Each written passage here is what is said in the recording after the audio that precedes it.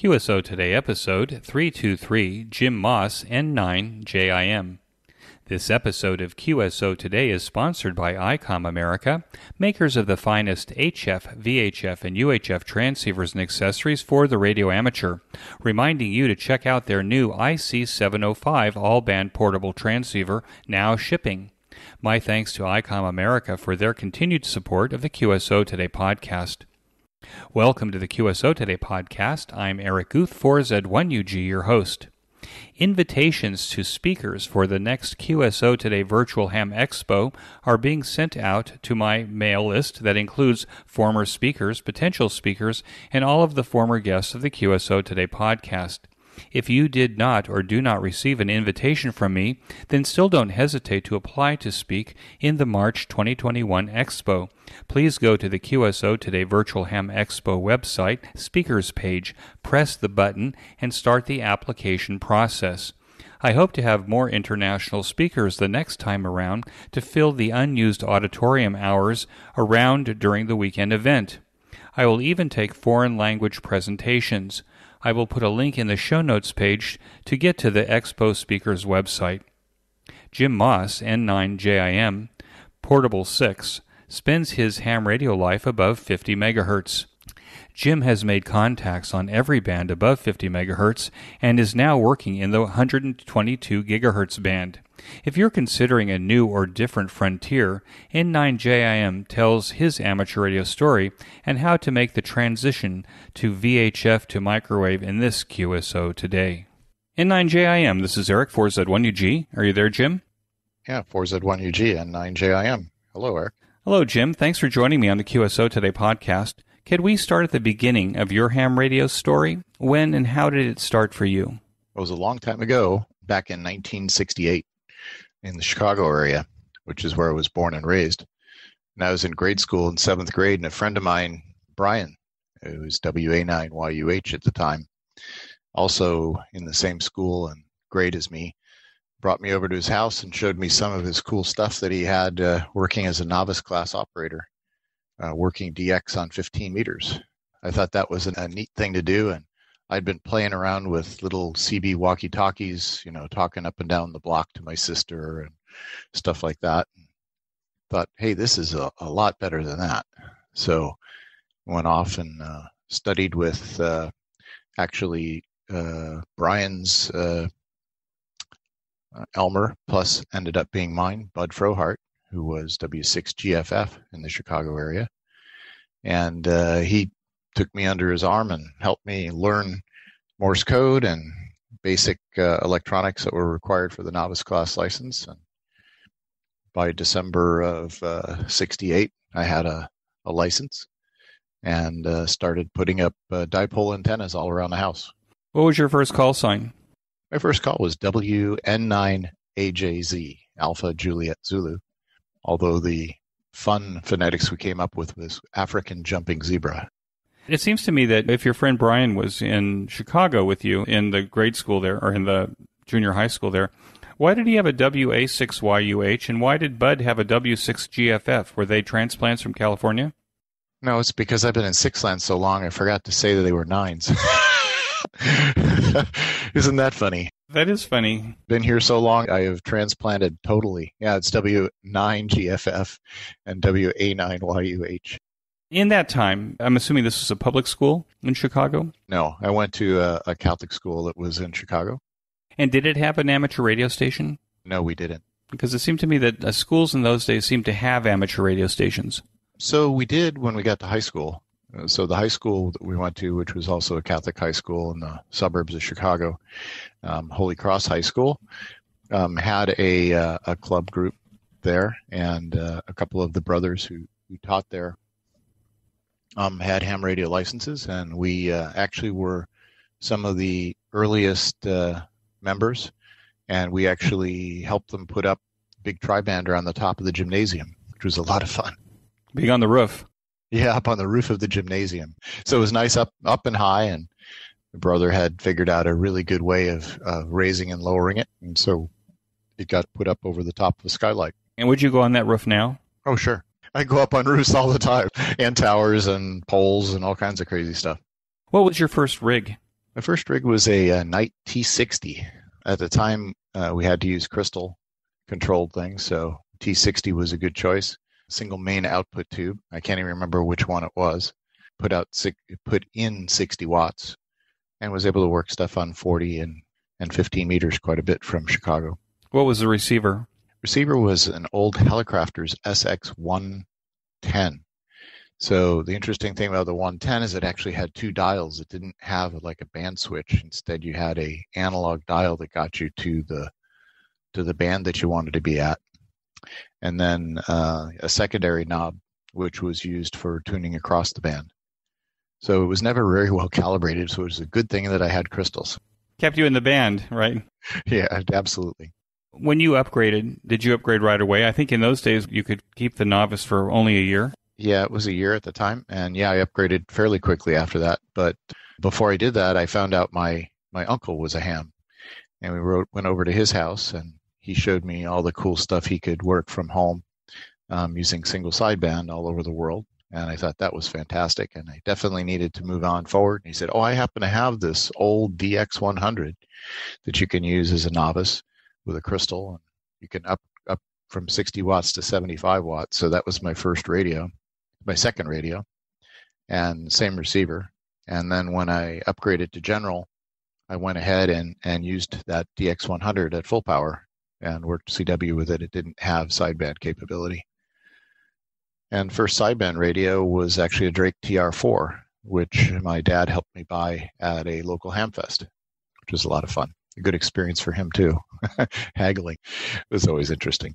Did anybody else in your family get the amateur radio bug besides your uncle? No, you know, over the years, uh, I mean, my father had interest at times, but he had a, he had a lot of difficulty with the code. Um, he'd probably get past the the theory and the rules and regulations and stuff, but uh, uh, Morse code was actually difficult for him. He was able to do any character that had three parts to a symbol, but if it had four, then it was it was a little too much. So Q's and C's were hard, but S's and O's were easy, things like that. How about the numbers? Seems like the numbers were always hard for me. I don't think he ever played with numbers. There's five characters. yeah. I always found them easy because they were in an order. Ah, right. I found it easy to remember it that way. Did ham radio play a part in the choices that you made for your education and career? Probably. I was always into science and math even before ham radio. Um, but as I as I went on uh, into high school and again getting reinforced with uh, some of the stuff we were doing with ham radio and then also being interested in science uh, and playing in some of the science clubs and stuff like that i uh, kept going and decided to go to uh, a uh, university that had electrical engineering in it um, actually part of part of that was also because in uh, high school we actually had an early computer actually brought into school an old PDP 11. At the time, it was not old, it was fairly new. And uh, I did a lot of uh, programming on the PDP 11, and there was a special opportunity at the local university for uh, grade school and high school students to go there during the uh, weekends and during the summer to learn about computer programming, which I took advantage of. And that school was Illinois Institute of Technology in downtown Chicago area, southern south side of Chicago, and uh, I uh, decided to go there um, for my uh, college degree, which I did, in electrical engineering. So you got a BSEE there, right? Got a BSEE there, and we also uh, formed a radio club there because there really wasn't one, at which we were. Oh, that's not really true. There was one. It was just not very active, but they had HF only, and we were getting very interested in uh, repeaters and so forth. And so uh, a couple of friends and myself and I built a 220 megahertz uh, uh, repeater with auto patch and everything and decided to put that up at the university. Got permission to put it on top of their research institute, which uh, was up about uh, 30 stories or so. So that was a, a great opportunity for us to do that.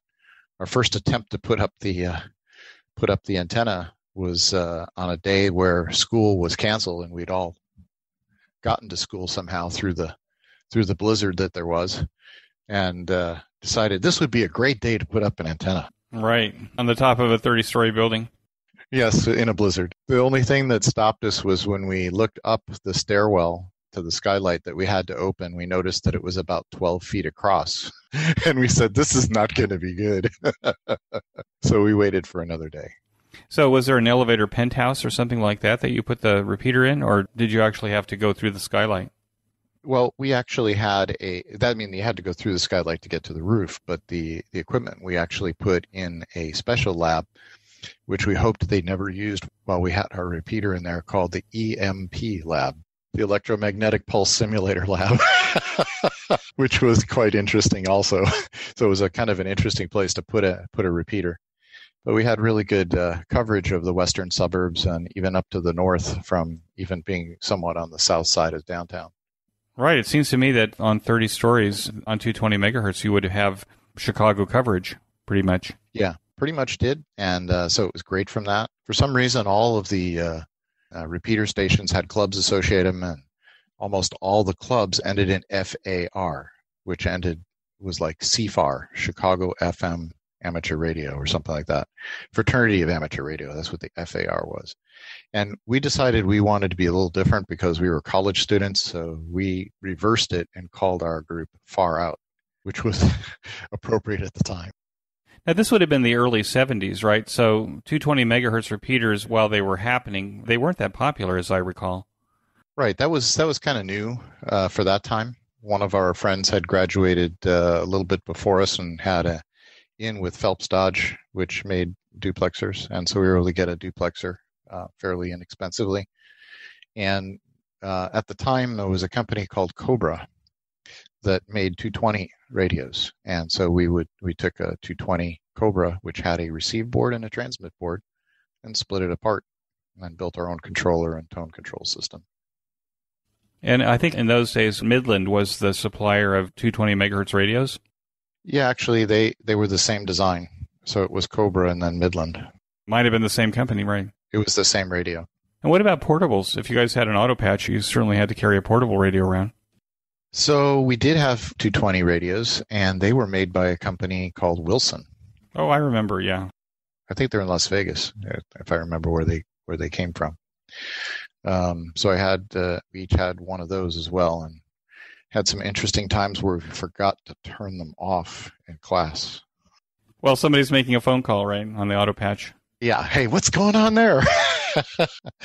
yeah, and uh, we almost always carried briefcases to carry all our stuff with us, so it was kind of interesting hearing the muffled voice coming out of a briefcase. I think Wilson Electronics now makes cellular telephone extenders. I think they've kind of morphed out of the ham radio business and into probably there's a much bigger market. So what happened after that? So you left the Illinois Institute of Technology, and what did you end up doing? I ended up um, moving to California um, so that was back in 1977. And I joined a little company called National Semiconductor. So at the time they were they had been hiring lots of people out of Texas and all kinds of other places, but um, I ran into the recruiter when we were in Chicago, and I happened to be there at uh, early in the morning during the sign up. The sign up sheets were all full, and I said, "Oh, this is this is bad." And there's this guy walking down the hallway. He says, "He said, what's what's going on?" I said, "I was trying to sign up to see the guys at National Semiconductor, but they're full." He says, "Oh, well, I'm one of those guys." He said, "You're right. All our slots are full, but I have lunch available." I said, "Cool. Let's go for lunch." so we went out went out to a local pizza place in in Chicago, and he said, "Wow, this is great pizza. How'd you find this place?" This is right across from the school. How could I not find it? and uh, it was in Mayor Daley's neighborhood of Bridgeport, um, just right off of um, White Sox Park, which was called Comiskey Park. And uh, so we had a good time. He invited me out to California. They said, we can use you. And so I decided to move to California. The National Semiconductor has a long history in the Valley, right? I think it was one of the first companies.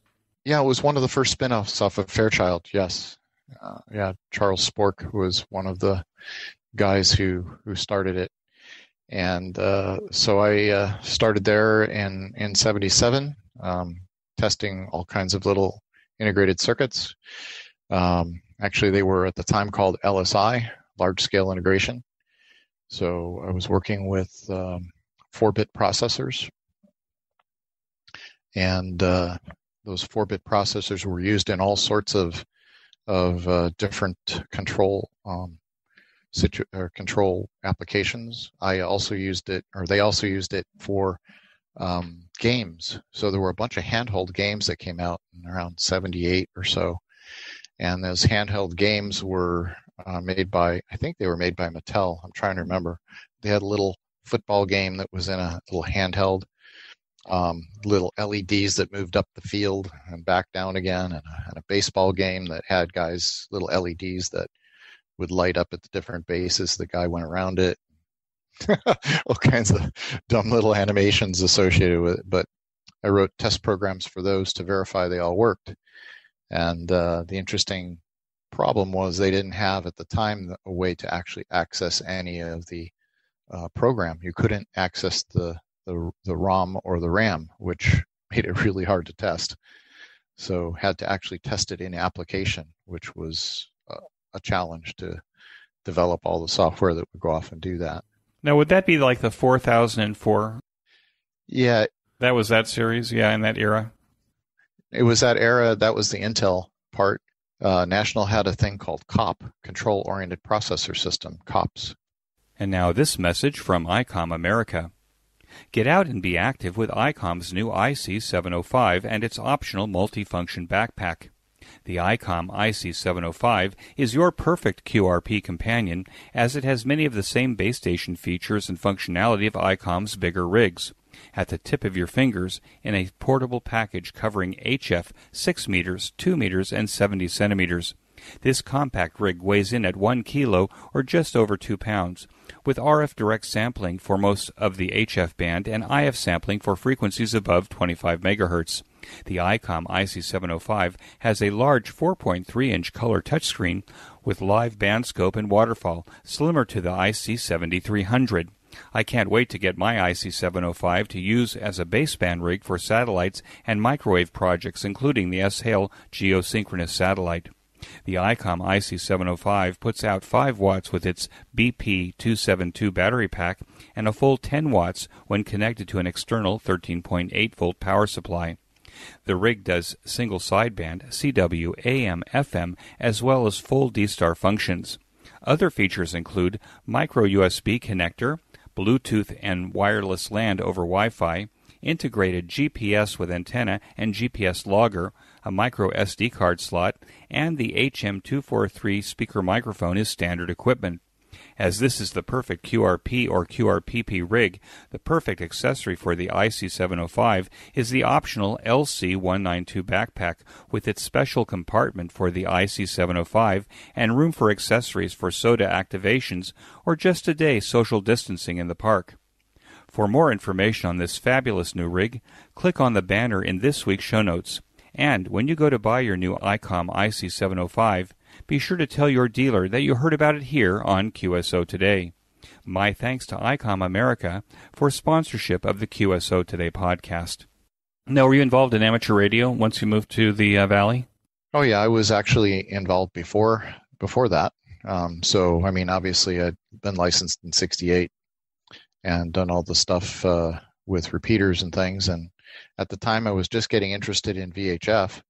Also, got a pilot's license while I was in school and uh, used to go on flights to visit my grandmother who lived in Michigan. And we used to take the 220 radio along, uh, which was always interesting to do aeronautical mobile on 220. But I'd also bring along VHF equipment and at my grandmother's house up in Michigan try to talk to my friends back in Chicago. So when I moved out here to California, I kind of continued mm-hmm. that and got more interested in two meters and and 432 and and eventually 1296 and higher. You didn't actually just fall into the narrowband FM slot, which is 2 meters and 440. You actually like the other modes in those bands, right? Yeah. Yeah, I used the the FM modes mainly mainly for communication, for talking to friends and stuff, or for doing some kind of coordination. But my interest was in, if you would, VHF DX and some of the odd modes that you can do with it. Um, so on two meters, I used to go on grid expeditions. At the time, we didn't have grids, so I would go out and do expeditions to um, ARRL sections that didn't have a lot of people in them or a lot of activity in them, and then try to activate them. And before there was a thing called a rover, I used to go to as many of those as I could during the weekend to try and talk to all my friends back in back in the San Francisco area, which was always fun. So you're one of those guys with the horizontal 22 elements on your vehicle? Yes, a crazy guy like that. Only we didn't. I didn't put him up on vehicle because I, I I, wanted these long boom Yagis in order to get back to the to the area, and uh, so I would set up on hills, and I had a Radio Shack push-up mast, which would be totally overloaded with six meter, two meter, 432 megahertz antennas and amplifiers for all those, and try to work back from the outer reaches. So, what was the draw? I mean, it seems to me that you could have gone anywhere. You could have gone to HF and worked DX that way. What's the draw working above 50 megahertz? Well, for me, it was it was uh it was new. Uh, I mean, I had worked HF for you know probably almost 10 years, and it it was it was interesting. It was fun to work new countries, but there was there's something else about building have to constantly be building stuff. and it seemed like every time I would get onto a new band, I had to build something. So at a minimum, I'd have to do something that was going to be associated with antennas, feed lines, probably something to do with an amplifier. The radios were not too bad. You could you could buy something that was was ready made for the at least uh, the IF. Um, sometimes you had to build a transverter, but it was uh, it was a not a super giant project, but it was a project that you could go off and do. And, and every time you wanted to get another band, it was something new again. And the propagations were different on each of the different bands. So it was kind of fun to learn how they worked and how far you could work on them. And it always seemed to amaze my friends how far you could talk to because they were all associated with thinking about FM and oh, you got to have a repeater to talk to anybody. Or you have to be on top of the mountain itself and, you know, line of sight. Exactly. Let's go to two meters in terms of working DX on two meters. How far can you work if you're operating, say, CW or single sideband? Yeah, so it's interesting. I mean, you can you can look at different modes that that exist on two meters. I mean, certainly there's line of sight, so you get up on top of a hill and talk uh, 100 miles or so. Uh, here in California, where you have thousand foot mil, foot hills, but even without having a hill, uh, the troposphere the troposphere tends to help you. So rather than going all the way up the ionosphere and getting bounces off of that, you're getting uh, bounces off things that are in troposphere. So you can get bouncing off of uh, off of uh, weather inversions, which hold the signal down closer to the Earth. You get ducting. Um, this happens a lot in the Midwest, and out here in California, we get a really cool duct that forms between here and Hawaii. And so literally with a, uh, a small antenna, uh, a dipole or a discone. If you're on top of a hill and in the duct, you can talk to guys in Hawaii from here, which is pretty amazing. But that's not every day. It has to be under the right conditions. And uh, of course, most of us don't live on mountain peaks. We live down in the valleys where it's nice most of the time. And so it becomes much more difficult to work into those ducts because you have to actually get over the hills to get get to them, but you can do it. Um, and then a little higher, a little farther DX um, rather than tropos, tropo stuff is to make use of ionospheric conditions that can happen on two meters. Um, so two different ones for that are e-skip and meteors, meteor scatter. And both of those can go about the same distance uh, as each other because they're about the same um, elevation or same altitude rather. Um, it requires uh, usually a decent antenna, um, 10 elements or more probably on two meters, and the more power the better. Um, the meteor scatter stuff is relatively short and E openings are relatively rare, but by watching what's happening on on uh, six meters and other indicator bands, you can determine when two meters is possibly going to open and be very aware of listening for other stations that might be on for that. For meteor scatter, usually set things up ahead of time with somebody and say, okay, we're going to do it on this frequency at a particular time and go off and make the contact.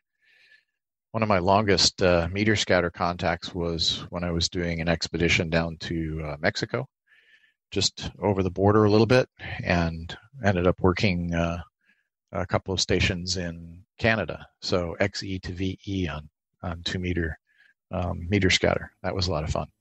Is meteor scatter seasonal? Yes and no. It usually ha- it can happen anytime because we're running through a stream of particles that are all around us as we're going around the sun. But there are um, streams of particles which are leftovers from comets, and those streams are in the same place. The debris fields tend to be in the same place over and over again. So as you go around the around the sun, you run into them, and they're always in the same place on the same day every year because you're in the same place as you go around the sun every year at the same time. So yeah, it's kind of seasonal. You can put it on your calendar in terms of this is the week I'm going to do two meter meteor scatter, for example. Absolutely, if you want to have a higher probability, but you can do it any day. But it's better on those days. It seems to me as I'm sitting here thinking about it that if you live on a relatively small city lot, and maybe you have a noise problem on HF or something, and so you're thinking of, you know, I'm going to see what's happening on, say, six meters and above or two meters and above do you think that working two meter horizontal, 10 or more elements, is that a good place to start if you want to start thinking about working above 50 megahertz? I think it is. I mean, I it's FM is a is a, actually a fine place to start trying to do FM simplex and see what you can do with it, because there's a lot of people there. On uh, the sideband and CW, there's there are probably it's a smaller group of people that are going to be on there. There's probably let's see, we have a, a group out here called uh, the Bozo Net, which has about uh, 700 people in, in the California, Arizona area that are on two meters. A lot of them are on two meters. Um, during the contests, uh, you can work 50 to 100 guys on sideband, probably with a system like we were talking about, but you have to work at it. It's not going to be the same as a HF contest where it's person after person after person. Also, with a big antenna, you're fairly narrow in where you're pointing. But we're kind of lucky out here in California in that we only really have to point towards Los Angeles from San Francisco or from San Francisco to Los Angeles. So you don't have to turn at tons of differences, different places. But it, the beam is narrow enough that if you're in Southern California and you're trying to work somebody in Sacramento or Fresno, it's not the same heading as working the guys in San Francisco. So you do have to move the antenna around and, and find people um, especially at the longer distances. So let's say you're starting two meters, for example. What would be the ideal two meter rig? What would you look for right now if you're going to a Hamfest or something like that? If there is a Hamfest or even on eBay, what kind of rig would you look for right now so that it doesn't involve maybe using transverters at first or other specialized equipment? Well, the really cool thing about two meters right now is that it's included in a lot of uh, multi-band radios. So if you if you look around, you'll find there's lots of radios that do 160 through two meters, and on two meters they're probably running between 10 and 75 watts, depending on on the model that you get. I have a fairly old radio. Now we consider it old, which is a Yaesu FT847, which covers all the way up to two meters, and uh, it, it's turned out to be pretty good for me. Um, that's what I use here at home and I'm sure that they're fairly inexpensive in the used market, but I don't know what they are right now. Now, the 847 also went up to UHF, right? Oh yeah, uh, I yeah, my mistake. It actually goes up to 70 centimeters, so it does cover 432 as well. So it's an ideal IF rig if we're talking about. Could you explain what an IF rig is? So an IF rig is is one which is used into a transverter. IF meaning intermediate frequency. So it's something that is a frequency that is then used to go to another frequency. So you're actually tuning with the IF radio and a transverter which converts it to another another uh, frequency higher up. So we see a lot of these Yaesu rigs, I think, even on 10 gigahertz rigs, for example, as an IF rig was very popular. So yeah, so a lot of us use the 817. The FT817 is a nice, really small little radio, low power you don't need any power for the transverters. You generally want something that's a watt or less than a watt because you whatever you're going to have to bring it down to where you won't blow up the front end of the transverter, usually some kind of a mixer. And so you're not really looking for powers that, that are high for that kind of application. So the 817 was nice because it's small. It's uh, capable of uh, running a lot of different uh, frequencies. It actually runs all the way up to, to 440 as well. It's kind of the baby brother to the 847 in, in many ways, has a lot of the same kinds of features. And so uh, for 10 gigahertz, and in fact, all the way up even at 122 gigahertz, which I'm now playing with, that is the radio that we're using for I'm using for the for the IF. It's nice, simple, relatively inexpensive. You could buy used ones for less than four hundred dollars. Let's say I have an 847 or I've got one of the two meter radios and you say, you know, they work from like 10 to 75 watts. How much power do I need to successfully make contacts on two meters, horizontally polarized, maybe either using the digital modes or using CW single sideband? What do you recommend? So I, I would definitely be looking at, at wanting to have some kind of an amplifier and a, and a relatively large antenna, meaning relatively large depends on your definition of large, but a 10 element beam, for example, is I, I actually consider it a medium sized, but uh, uh, something like that, uh, and 100 watts it would be probably what I would be targeting. Um, that would give you the capability of of going a few hundred miles actually on good tropo openings. Um, so that's kind of the the level. I found it very satisfying when I was running about 150 watts and a 16 element beam, however, which is almost 30 foot boom. But a 30 foot boom really gives you a lot of uh, a lot more gain than the little 10 element antennas. Hey, this is Eric for just another short break. One of my favorite ham radio podcasts is the Ham Radio Workbench podcast, hosted by George, KJ6VU, my guest in episode 232, and Jeremy, KF7IJZ. George and Jeremy take a bi weekly deep dive into their favorite ham radio workbench projects and the technologies that fascinate them. If you want to be a ham radio builder or just be inspired, click on the link in this week's show notes page. Now, you've got a picture on your QRZ page, I think, of a camera up on the boom. You're pointed through the trees. How well does that rig work through the trees? So, two meters isn't really affected by the trees at all. It just goes right through it. It's transparent for the most part, unless it's a dense forest. Um, so, uh, yeah, I happen to have a liquid amber tree right next to my property, and and basically, anytime I want to work anybody to the east, like towards uh, uh, Fresno direction, uh, I have to go through that. But it's not not too difficult at all the bigger boundary, bigger barriers that I have are like between me and Southern California. I have a range of mountains south of me, but they only go up to about two or three degrees elevation. So basically, you can get over the top of them and count on troposcatter to make it the rest of the way. Now, does that mean that you need an antenna rotator that also has elevation as well as azimuth? Uh, not not for not for uh, earthbound communications. However, I mean, a lot of the satellites use two meters also. So there you start thinking about, oh, now I might want to have elevation. Or if you're playing with meteor scatter and you're going for short, what we call chip shots, which are relatively close and not at the horizon, it could be advantageous to have elevation. Or if you go another step further and say, I want to actually use the moon as a passive reflector, now you actually want to track the moon. So elevation becomes important. Do you work EME or moon bounce? Yeah, I, I, I do. And uh, I've also worked moon bounce from here at home. So I've done it portable. I've done it at some commercial sites that I've helped bring back alive um, that had been mothballed for years.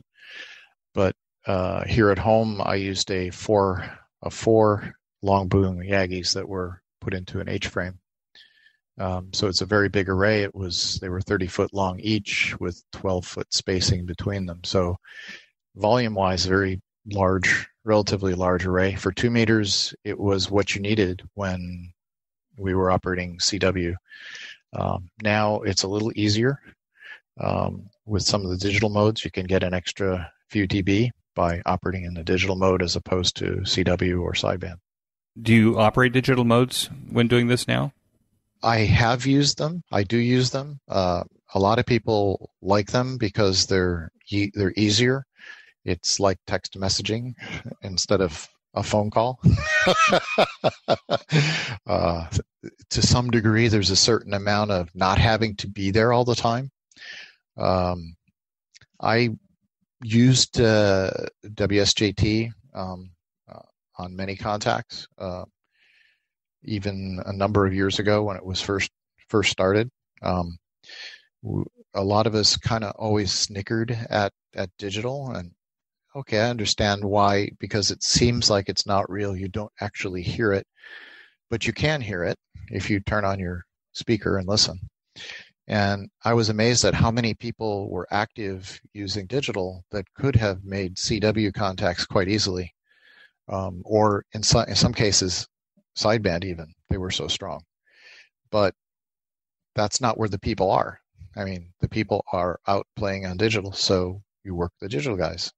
So I would, uh, we activated a, uh, there's a picture on my uh, QRZ.com page, I think, that shows a big dish that we activated in um, Carmel Valley in California. It's a 100 foot dish. And uh, that 100 foot dish, we could hear ourselves with an FM, FM uh, handy talkie by bouncing off the moon, just running a, a watt. But when we were out there and first activated it to make con- contest contacts, I worked a bunch of guys on sideband in the first uh, uh, 30 minutes. Probably talked about 30, 35 guys, a whole bunch of people in the first few minutes, um, all on sideband. And then we switched to CW and worked a whole bunch more. And then after that, we switched over to digital and worked a whole bunch more. but a lot of the same guys in each place. But it was always interesting. You can always work more when they're weaker uh, eventually. The problem was it took about six minutes per contact when we played in the digital space. But there's different modes now that can allow some of that to happen faster. Well, I remember speaking to somebody. He was saying that when he was doing early EME or moon bounce on two meters, that in using CW, they would record the CW message and then play it at a higher speed in order to send the message. And then they would receive the message at that higher speed and slow it down to hear the reply. Is that a mode that you've ever done before on CW? Yes and no. So I don't. I've never heard of it being used for moon bounce. However, it is used for me. Was used for meteor scatter significantly. So for meteor scatter, you would want to run faster um, because the meteor pings are relatively short. So you have to get a lot of data through in a very short time. EME is kind of the opposite. You actually want to run at a very low rate so that you can pick up the symbols, which are very much at the noise level. You mentioned a few minutes back that you and your group perhaps are activating, I'm assuming, abandoned dishes. Are there abandoned dishes? Are there lots of them? And how do you find them? Once you find one, you start to find more. I guess I'll say that. Because you notice them more, or is, is it just like there's a network of people that have these? Well, the network that has them is the government um, or uh, telecommunications companies. So I guess uh, some of it starts when you start noticing that you want to play EME, and then you find out that two meters is nice, but the antennas are huge. And then you say, I want to have something that kind of fits more in my property and is relatively reasonable. Um, and you start looking and you say, oh, 1296 is such a band. So 1296 is probably one of the most popular two meter or popular bands outside of two meters. With for 1296, you need about a six foot dish and and about uh, 80 watts or so, maybe a little bit less. Um, and you can work all over the almost all over the world, one half of the world anyway, the part that's illuminated by the moon. And so you start looking for where can I get a dish without having to go buy a real dish, and you start learning about TVRO dishes, which were very popular when when we were growing up.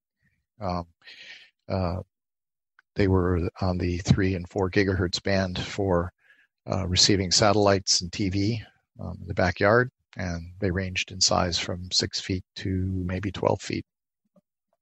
So you start your eyes looking for those kind of things.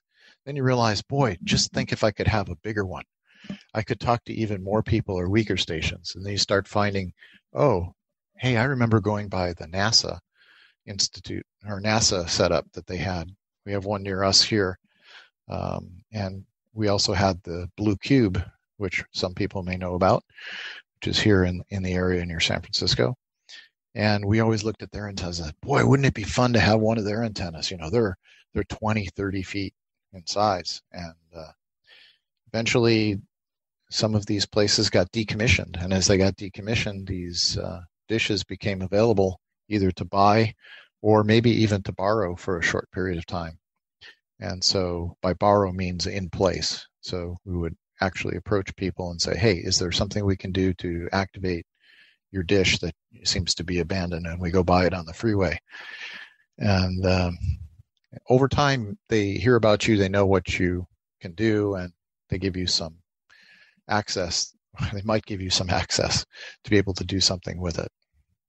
So that's kind of how we did it. And because people heard about us, they they said, "Hey, can you help us with this one?" Have you had to move one? Well, I've moved the little ones. Here in Jerusalem, NDS was a big company that was making satellite dish decoders for a long time, uh, video ciphers. And they have on their roof on their new building, there must be a 50 foot dish up there, there might be a 30 foot dish up there. These huge dishes, and now the company has been sold to Cisco, and Cisco is kind of sold to somebody else. And I know those dishes aren't being used.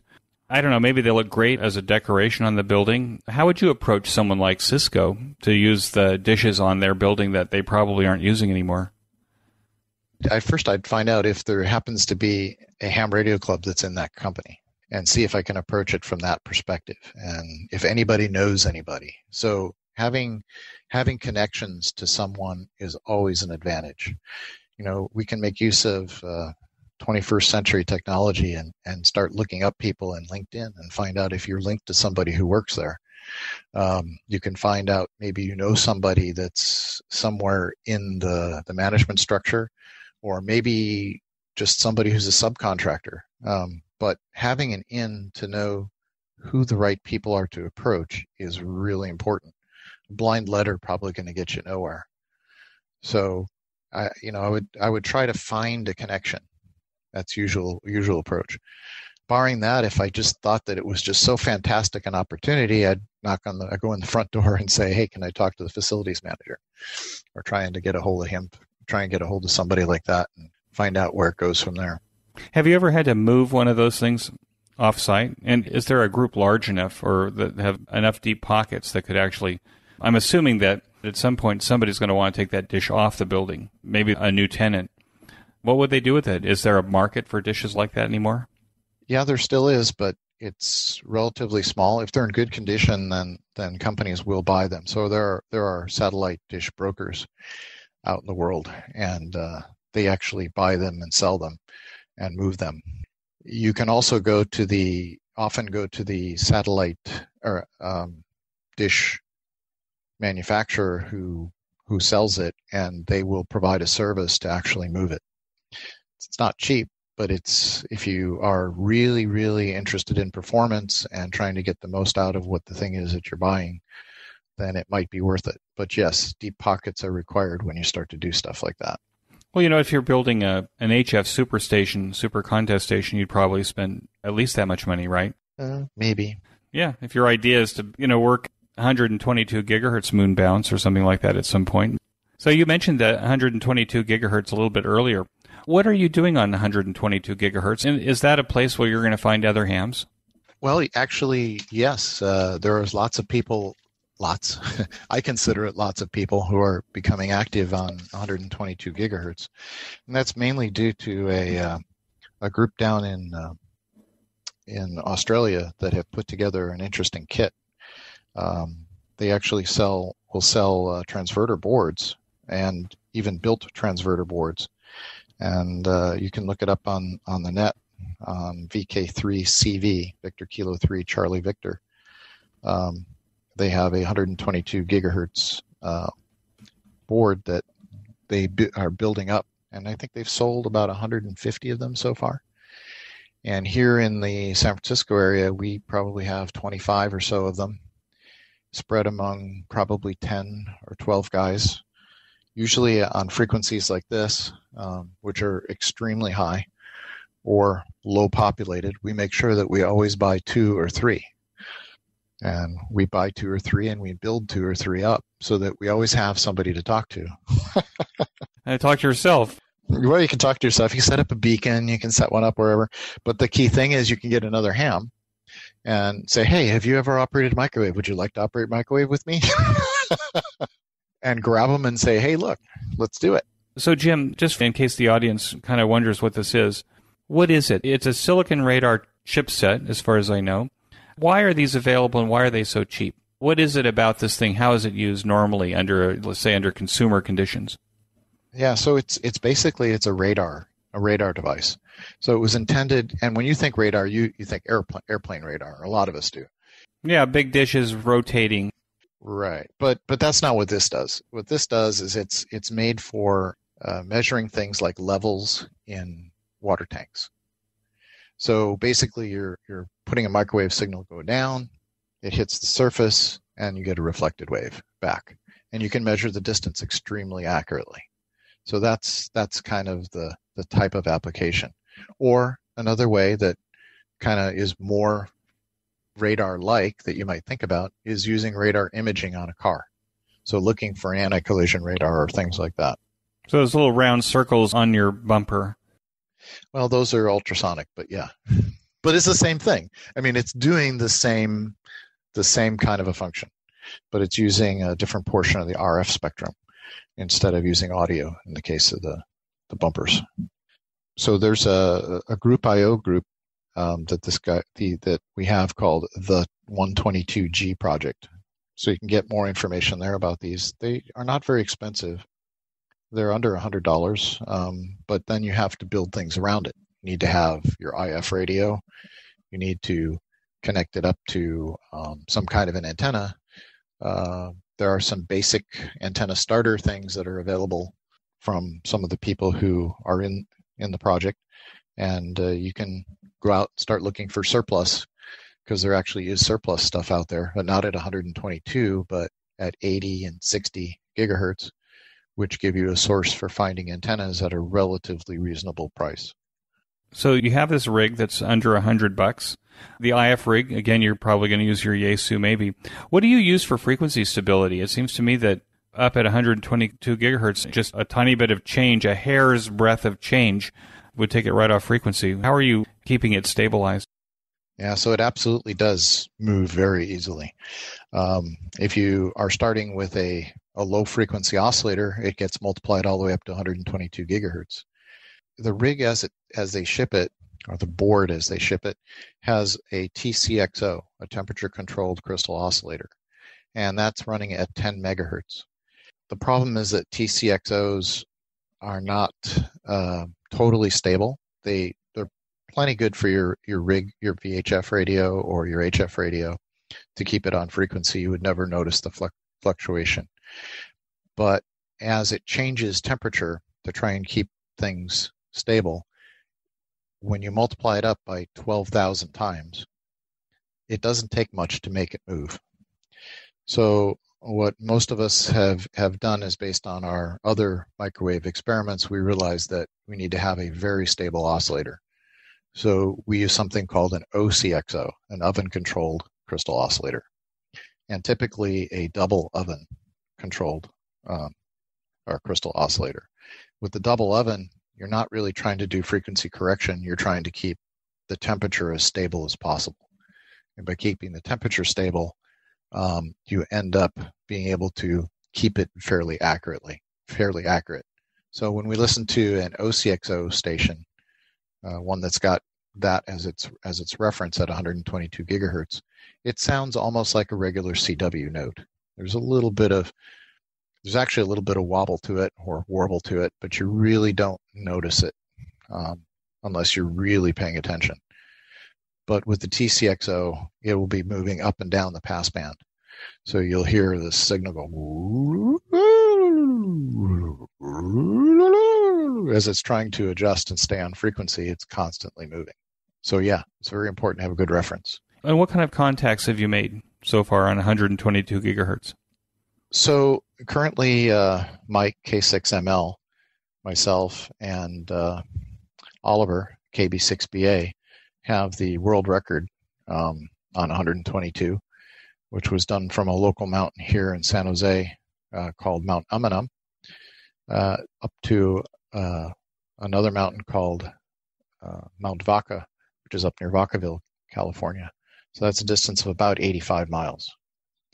So with the rigs that we had at that time, which are not the VK3CV rig, they're ones that Mike built, um, we used 18 inch dishes on each end and uh, we used CW and we we're only running about we're only running about somewhere between zero and a half sorry um, between one and a half a milliwatt because that's what these radios will put out.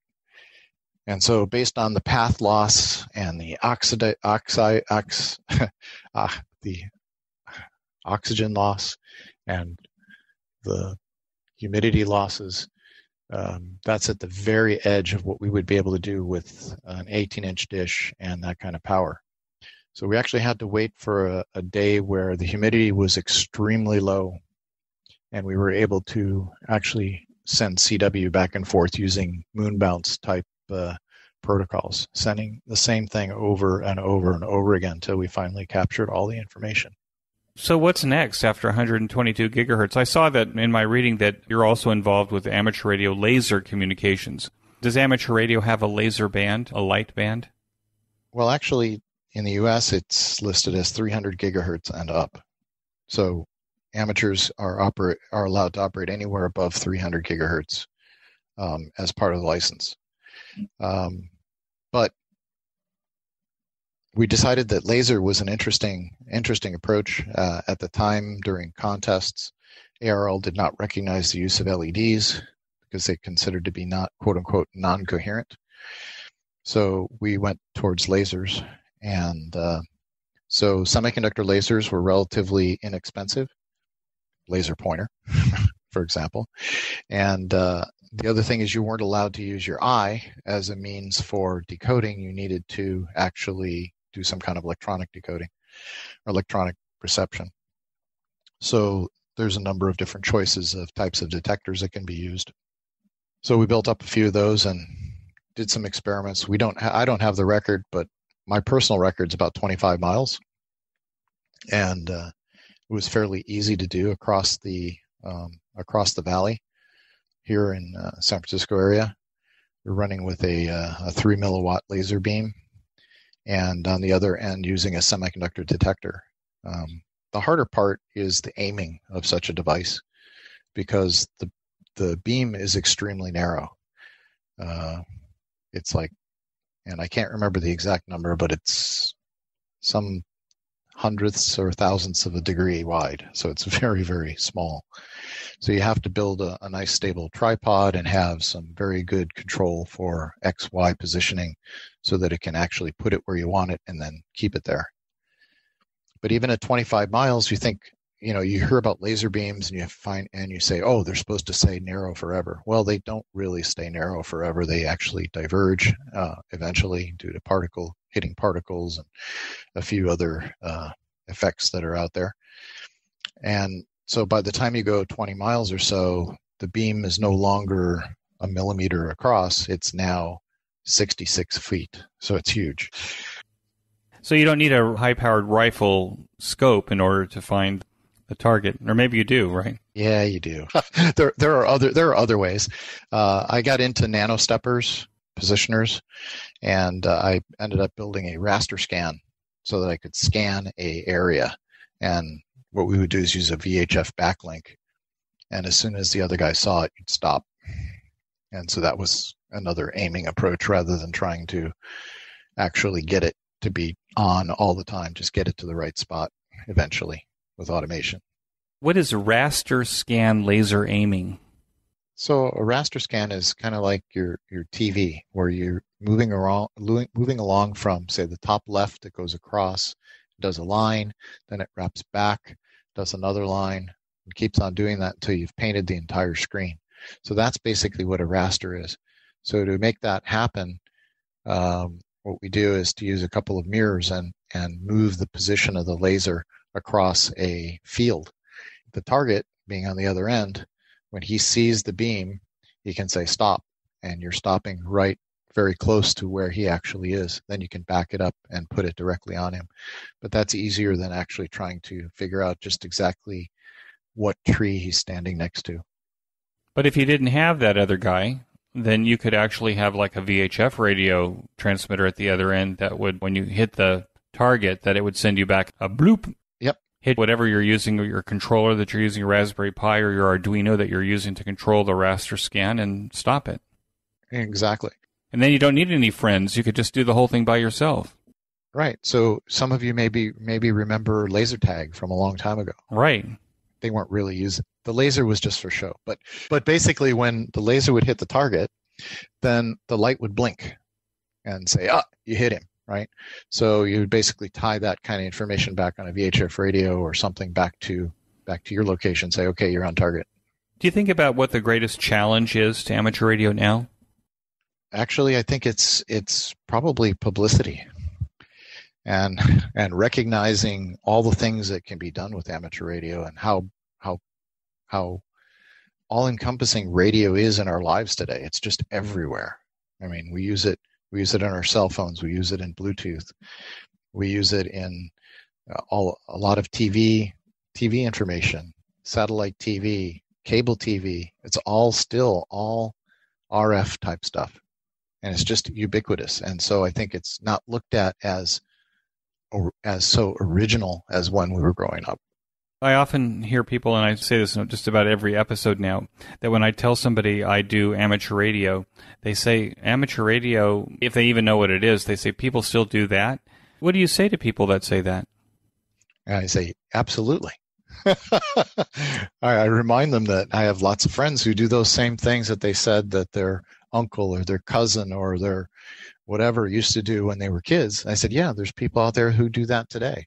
And they're talking to people in other countries and saying hello and talking about the weather and talking about radios and all kinds of different stuff. And then I usually pull them off of that and because they're looking at my dish and saying, what the heck is that dish, that satellite dish doing on your car? And then we get into uh, talking a little bit about how far you can talk with uh, with a dish kind of a, a, a system and what's involved with it, and maybe look a little bit at, at what goes on. Um, and here in the Silicon Valley, uh, people have some knowledge about what you're talking about. I tell them I'm on 122 gigahertz, and their jaws drop. Go, what? so we don't even use that at work. We only go up to 60. Yeah, I took the emitter off the back of your Lexus. Yeah. so I mean, it, it can go a lot of different directions. Uh, and of course, I think that a lot a lot of uh, folks also are looking for they they're more uh, the average person is more knowledgeable about broadband use than they're about narrowband use. So they think about how many bits per second can you send. You know how much, and that's just bits, right? Gigabits, right? And so they say, how many gigabits can you do with that? And then I say point zero zero zero zero zero one. Do you think that a young ham that gets involved in microwave in the same way that you're doing it, maybe even joining your group, do you think that puts them in better stead for professional opportunities later? I do. Uh, we see, we saw this all the time as a, a technologist at uh, Texas Instruments after I left National. After National was acquired by Texas Instruments, one of the things that I did was I was always uh, working with new recruits and helping them get started.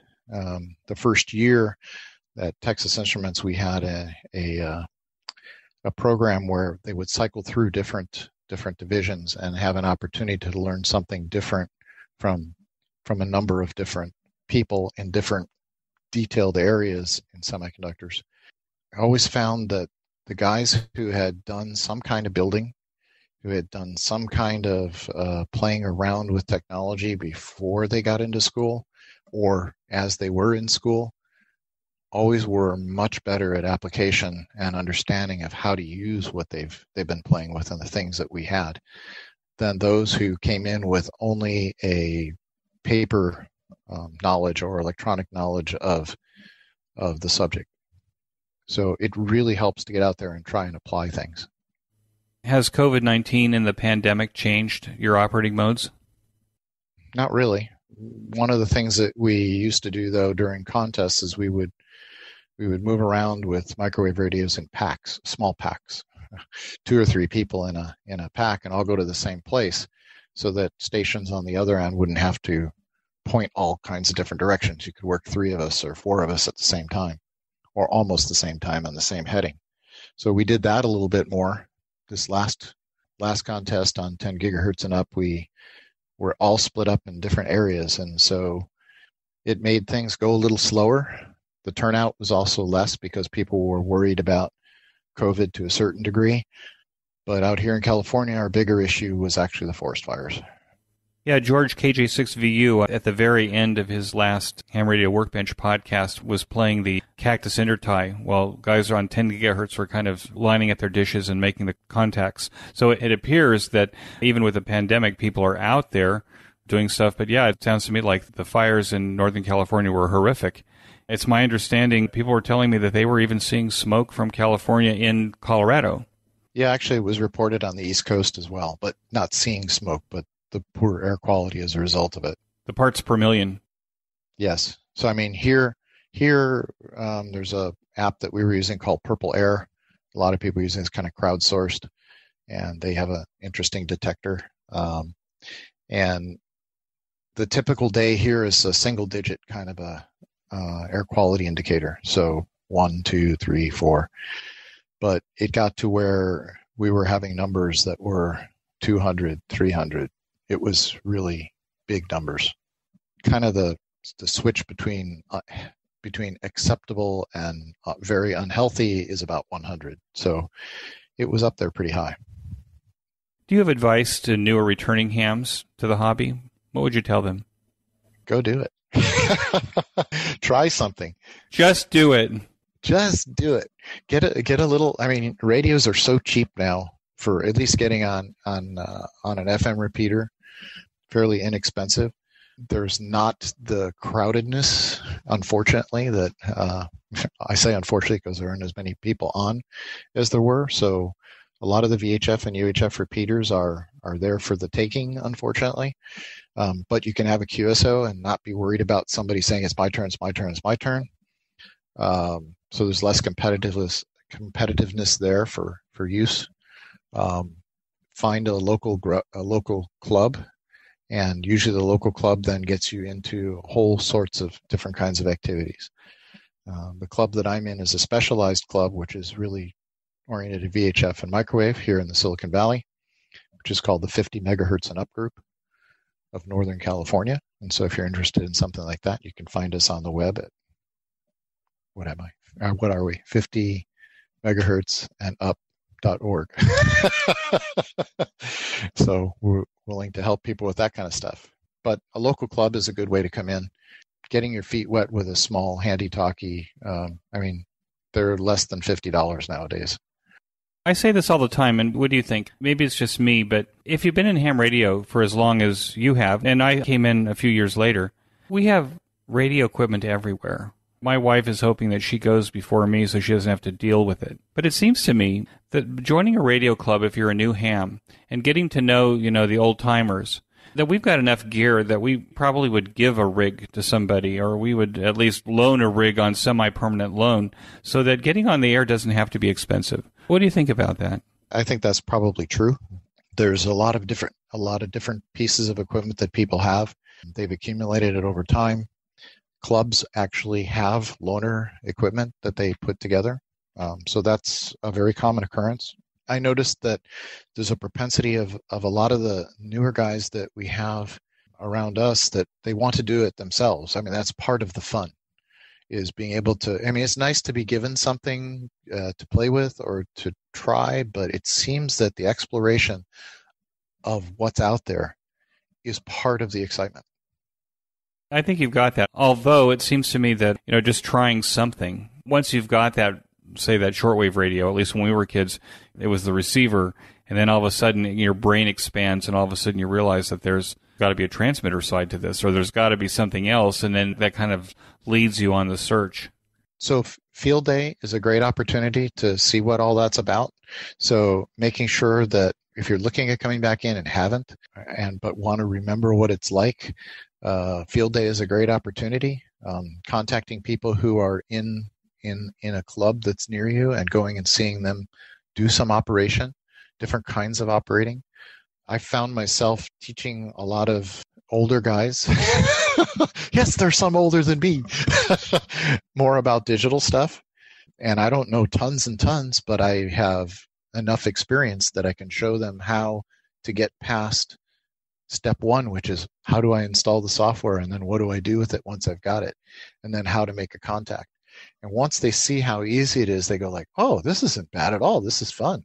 It's not that hard, especially if somebody's guiding you through it. Well, Jim, I think that's great advice. I want to thank you so much for joining me on the QSO Today podcast. I really enjoyed talking about VHF and above. So, with that, I want to wish you 73. Okay, 73, Eric. That concludes this episode of QSO Today. I hope that you enjoyed this QSO with Jim. Please be sure to check out the show notes that include links and information about the topics that we discussed. Go to www.qsotoday.com and put in N9JIM in the search box at the top of the page. My thanks to ICOM America for its support of the QSO Today podcast. Please show your support of ICOM America by clicking on their banner in the show notes pages. You may notice that some of the episodes are transcribed into written text. If you'd like to sponsor this or any other episode into written text, please contact me. Support the QSO Today podcast by first joining the QSO Today email list by pressing the subscribe buttons on the show notes pages. I will not spam you or share your email address with anyone. Become a listener sponsor monthly or annually by clicking on the sponsor buttons on the show notes pages, or use my Amazon link before shopping at Amazon. Amazon gives me a small commission on your purchases while at the same time protecting your privacy. I'm grateful for any way that you show appreciation and support. It makes a big difference as I head towards episode 400. QSO Today is now available in the iHeart Radio, Spotify, YouTube, and a bunch of other online audio services, including the iTunes Store. Look on the right side of the show notes pages for a listing of these services. You can use the Amazon Echo and say, Alexa, play the QSO Today podcast from TuneIn. My thanks to Ben Bresky, who edits every single show and allows both this host and my guest to sound brilliant. Thanks, Ben. Until next time, this is Eric, 4Z1UG, 73. The QSO Today podcast is a product of KEG Media Inc., who is solely responsible for its content.